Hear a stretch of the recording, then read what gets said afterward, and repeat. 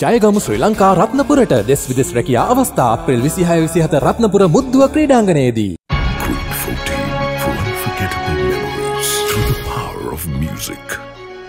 මන්තුමාව ඔබතුමාට මිනිත්තු ගරු මුලස්සන ඔබන මන්ත්‍රිතුමනි විශේෂයෙන්ම පාස්කු පයාරය සම්බන්ධය කතා කිරීමේදී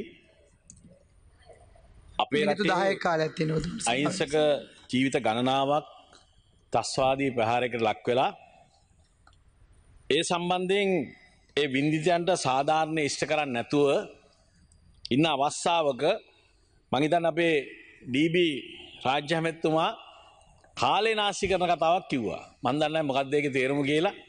එතුමා ද යන්න යනවා. ඒ ඒ නිසා පැහැදිලුවම කියන්න ඕනි මේක මහිතන්න ලැජ්ජාවෙන්න ඕන කාරණාවක්. විශේෂෙන්ම රටේ මෙවැනි තස්ස ප්‍රහාරයකට ලක් වෙලා පවුල් පිටිං ජීවිතක්ෂයට පත්වෙලා ඒ පිළිබඳව සාධාරණය ඉෂ්ට කරන්න හැකියාව ලැබුන්නෑ කියන්නේ ආණ්ඩුවද විපක්ෂද කියලා නෑ මේ පාර්ලිමෙන්තිරින් දෙසිය විසි පහම අපි ලැජ්ජාවෙන් ඕන කාරණාව. ති එකෙදී මොන මතයක ඉඳලත් දන්න ඒ ඇමතිවරයා කාලය සම්බන්ධයෙන් කතා කරේ මේ ජීවිතවල වටිනාකම රජයක් හැටියට මේ ආකාරයෙන් සලකන්න කියන එක අපිට විශාල සැකයක් තියෙනවා. ඒ වගේම තමයි දැම් විශේෂයෙන් මතක් කරන්න ඕනි පාස්කු ප්‍රහාරයා සම්බන්ධව කතා කිරීමේදී හරියට මේ ප්‍රහාරයෙන් මියගේ සංඛ්‍යාව තාම හරි ගාන කොච්චරද කියන එක ප්‍රකාශ වෙලාන එකක් තමයි ජනාධිති පරීක්ෂණ කොමිෂන් සභා වාර්තාව තියෙනවා දෙසිය හැත්ත එකක් ලෙස මේ පාස්කු පහරෙන් මිය ගියා කියලා. පාර්ලිමේන්තු විශේෂකාර සභා වාර්තාව තියෙනවා දෙසිය හැත්ත හැතක් කියලා.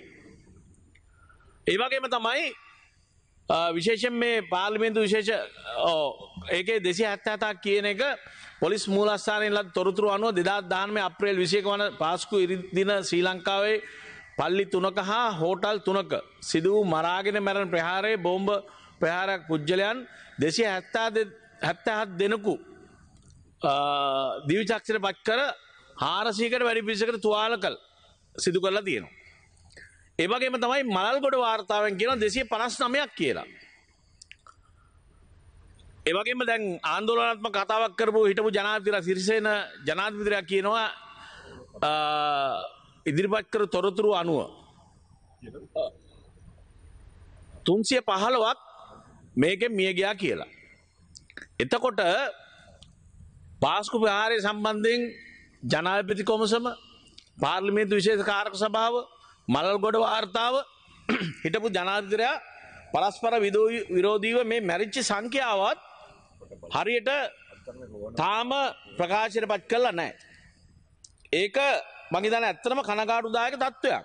අපේ රටේ වෙච්චි ප්‍රධාන විශේෂයම තස්ස ප්‍රහාරය සම්බන්ධයෙන් මැරිච්චි ප්‍රමාණය හරියට සඳහන් කරන්න බැයිනං ඒක ඉතාමත් අවාසනාවන්ත තත්ත්වයක්.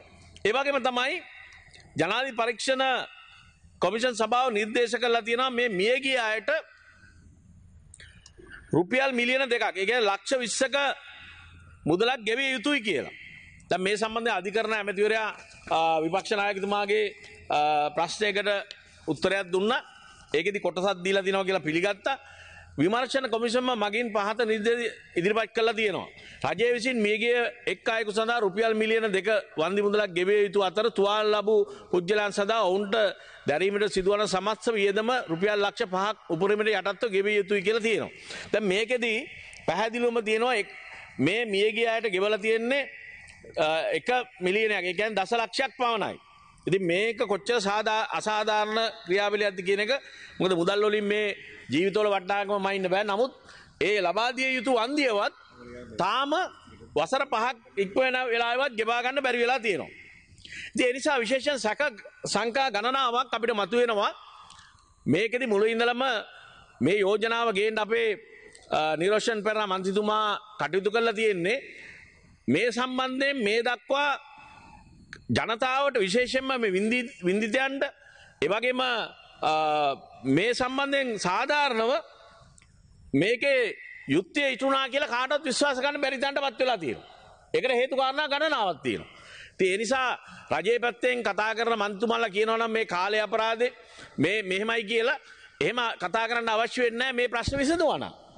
අපි දන්නවා ගෝඨාභය රාජපක්ෂ ජනාධිපතිවරයා ජනාධි මැතිවරණයට පෙර කිව්වේ මේ සියල්ල විසඳනවා. එහෙම කියලා තමයි බලයට ආවේ. හැබැයි අපි පැහැදිලිවම දන්නවා මේ පාස්කු ප්‍රහාරය සම්බන්ධයෙන් කතා කිරීමේදී මේ තුල හේතු කාරණා ගණනාවක් තියෙනවා. ඒක එක හේතුවක් තමයි අපි දකින විදිහට දේශපාලනය බල බලය ලබා ගැනීම. ඒක නෑ කියලා කාටවත් කියන්න බෑ. මොකද මේ රටේ අපි දැක්කා ඒ යහපාලන කාලයේ සීමාව තුල විශේෂයෙන්ම කියන්න ඕනේ දින 51ක් තුල මේ රට අරාජික කරා. බලය ලබා ගැනීම සඳහා මහින්ද රාජපක්ෂ එවකට හිටපු මන්ත්‍රීවරයාව අගමැති හැටියට පත් කරලා මේ රට තුල දින 51ක් අරාජික තත්ත්වයක් ඇති වුණා. ඒ අරාජික තත්ත්වය ඇති වුණේ තමන් බලය වෙනස් කිරීම සඳහා ජනතාව ලබා දුන්නේ වරම වෙනස් කරන්න. විවස්සා විරෝධීව කටයුතු කරපු නිසා. ඒ අවස්ථාව තුළ අපි දැක්කා කොයි ආකාරද මේ පාර්ලිමේන්තු තුළ හැසුරනේ. මිරිස්කුඩු ගහලා කතානායකතුමාට පහර දෙන්න ගිහිල්ලා මන්ත්‍රීවරුන්ට පහර දීලා මේ මේ තත්ත්වය අපි දැක්කා. එතකොට අධිකරණය තීන්දුව ලබා දීම තුළ තමයි මේ ව්‍යවස්ථා විරෝධී වැඩපිළිවෙලක් කියලා ආපස්සට යන්න සිද්ධ වුණේ. ඒ නිසා මේ පාස්කු ප්‍රහාරය හා කතා කිරීමේදී මේවා අපිට අමතක කරන්න බෑ. බලය ලබා ගැනීම කෙසේ හෝ බලය ලබා ගැනීම සඳහා ඒ අවස්ථාවේ ඉඳලා වැඩ කටයුතු සිදු වුණා. ඒ තුල තමයි මේ හානිය සිදු වුණේ කියන එක අපි පැහැදිලිවම කියන්න ඕනේ. මේකෙදි මේකෙදි ගොඩක් අවස්ථාවලදී අපි දකිනවා මේ අ, පාස්කු ප්‍රහාරය සම්බන්ධයෙන් කටයුතු කිරීමේදී නොයෙකුත් කරුණු වසන් කරන්න විශාල උත්සාහයක් ගන්නවා. මේ සත්‍යය හෙළි නොකරන්න මේ තරම් උත්සාහයක් ගන්න හේතුව මොකක්ද?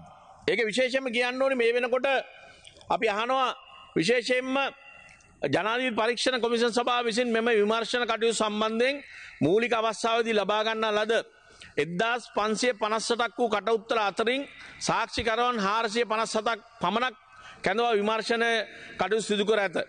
එසේනම් ඉතිරි කටයුත්තර සම්බන්ධයෙන් ආ, කිසියම් ආකාරක විමර්ශන සිදු කරනවද. ද මේ මේ වෙන්න මේවතම ප්‍රශ්න. ඒවගේම මේකට අපි පැහැදිලෝ කියන්න ඕනි පාස්කු ඉරිදින ප්‍රහාරය සම්බන්ධයෙන් පොලිස්පති වර්තමාන පොලිස්පති දේශබන්ධු තෙන්නකොන් මහතා.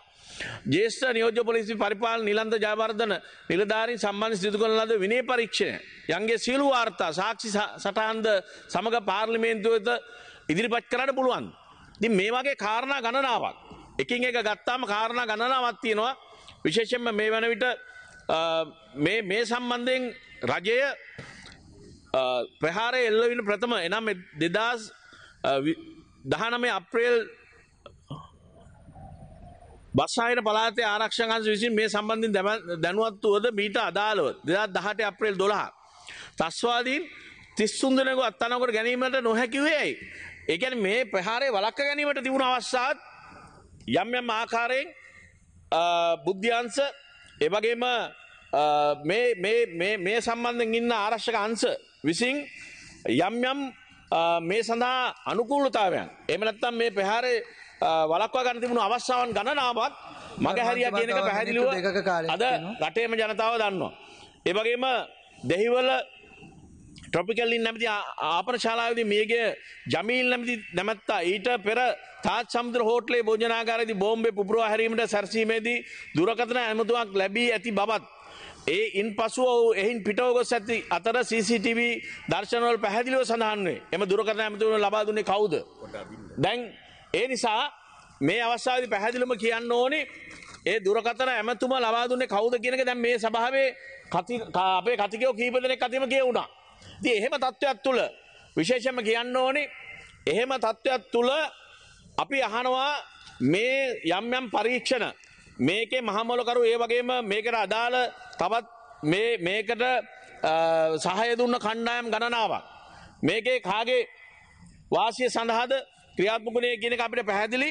මොකද මේක වසං කරන්න විශාල උත්සාහයක් ගන්නවා. මේ වර්තමානය අපි දැක්කා මේක හොයනවා කියලා ආපු. මේ සම්බන්ධයෙන් අ, විශේෂයෙන්ම අ, මේ සම්බන්ධය කටයුතු කරනවා කියලා ආපු. ගෝටබේ රාජපක්ෂ ජනාධිපතිරයා අපි පැහැදිලිවම කියන්න ඕනි දෙදාත් දහනමේ නොවැම්බර් මාසේදී. ගෝටාබේ රාජපක්ෂ මහතා බලයට පත්වීමෙන් පසු. ප්‍රහාරය විමර්ශණය සිදු කරන ලද අපරාධ පරීක්ෂණ දෙපාර්තමේන්තුවේ අධ්‍යක්ෂ ශානී අබේසකර එම තනතුන ඉවත් කිරීම. ඇතුළු තවත් පාස්කු ප්‍රධාන විමර්ශකයන් සහ විමර්ශන අධ්‍යක්ෂකයන් තිස් එක් දෙනෙකු පරීක්ෂණ කටයුතුලින් ඉවත් කර ඇත. එම ලයිස්සුව පහත දැක්වේ.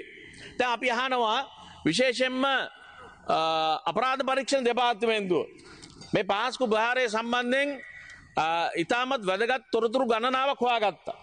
අපරාධ පරීක්ෂණ දෙපාර්තමේන්තුවේ පාස්කු භාරය සම්බන්ධයෙන් කටයුතු කරනු ලබන විශේෂයෙන්ම ඒ සම්බන්ධයෙන් දීර්ඝ කාලයක් මේ විමර්ශණ කටයුතු කරපු ඒ කණ්ඩායම තිස්සෙක් දෙනෙකු.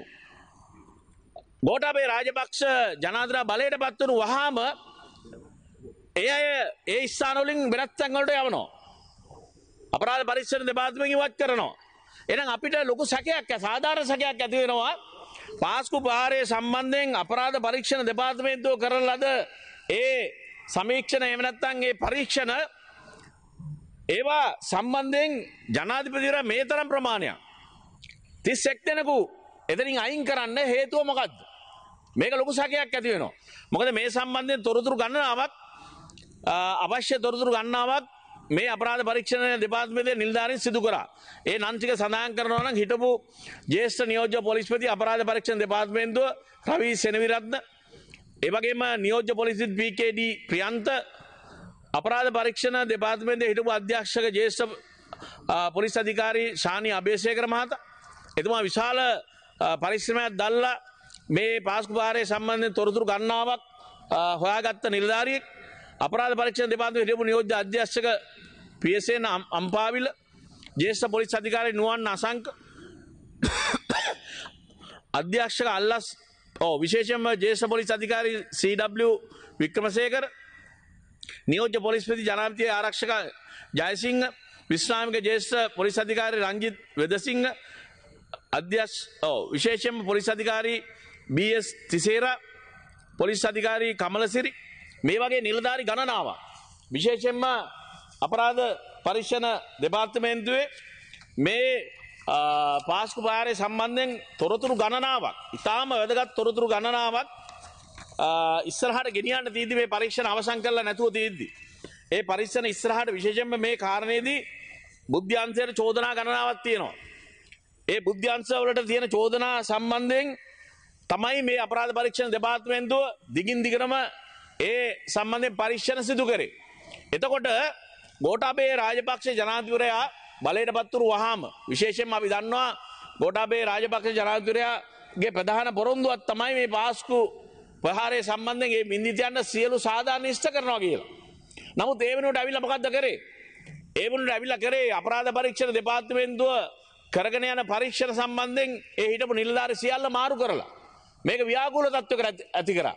ඒ නිසා අපි පැහැදිලිවම කියන්න ඕනි විශේෂයෙන්ම විශේෂයෙන්ම කියන්න ඕනේ ඒ සම්බන්ධයෙන් එතනින් තව පොලිස් අධිකාරී හේමන්ත ගුණසේකර ජ්‍යෙෂ්ඨ පොලිස් අධිකාරී ඉන්දික ලොකුහෙට්ටි එවගේම පොලිස් කාන්තා පොලිස් අධිකාරි දර්ශිකා කුමාරි පොලිස් අධිකාරි තනූජා දමයන්ති මෙවැනි කණ්ඩායම් මේ අය විශේෂ වශයෙන් මේ සම්බන්ධයෙන් දීර්ඝ කාලයක් වසර තුනක් විතර පරීක්ෂණ කරලා තිබුණු කණ්ඩායම. ඒවගේම චන්දිමා පොලිස් අධිකාරී චන්දිමා අරුමක් පෙරුම කාන්තා සහකාර පොලිස් අධිකාරී දීපානී මැනිකේ එවගේම කාන්තා සහකාර පොලිස් අධිකාරී නාමලි හේරත් සහකාර පොලිස් අධිකාරී කීර්තිසිංහ පොලිස් පරිශ්ෂක මාරසිංහ පොලිස් පරිශ්ෂක සාගර කස්තුරයාච්චි ඇල්ලපොල ප්‍රධාන පොලිස් පරිශ්ෂක ප්‍රධාන පොලිස් පරිශ්ෂක නිශාන්ත සිල්වා ඒවගේම ප්‍රධාන පොලිස් පරිශ්ෂක ඉළංගසිංහ පොලිස් පරිශ්ෂක ජයසිංහ අවසන් කරන්න කරුමන්තුමා බසිර් උපපොලිස් පරිෂ්කාරයෙන් මෙන්ඩිස් යන.